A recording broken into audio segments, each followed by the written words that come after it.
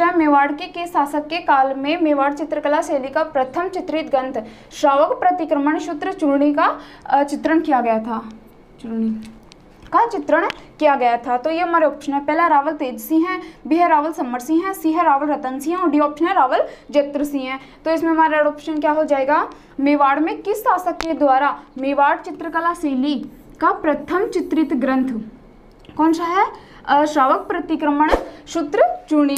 का अ, क्या किया गया था? चित्रण किया गया था। तो इसमें हमारा राइट ऑप्शन हो जाएगा रावल तेज सिंह रावल तेज सिंह के शासनकाल के अंदर मेवाड़ की प्रथम चित्रशैली श्रावक प्रतिक्रमण सूत्र चूर्णी का अ, क्या किया गया था? चित्रण किया गया था ओके? और रावल तेज सिंह के शासनकाल में सन बारह में किया गया था।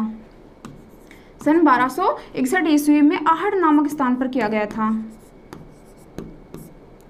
आहड़ आहड़ नामक स्थान पर किया गया था। आहड़ कहाँ पे पड़ता है? उदयपुर के अंदर पड़ता है। ठीक है? आहड़ कहाँ पे है? आहड़ नामक सभ्यता भी है। तो आहड़ है उदयपुर के अंदर और सन बारह ईस्वी के अंदर मेवाड़ चित्रकला शैली का प्रथम चित्रित ग्रंथ कौन सा है? श्रावक प्रतिक्रमण सूत्र चूड़ी। इसका उल्लेख इसका जो चित्रण है वो सन बारह ईस्वी में रावल तेजसी के शासनकाल में किया गया था।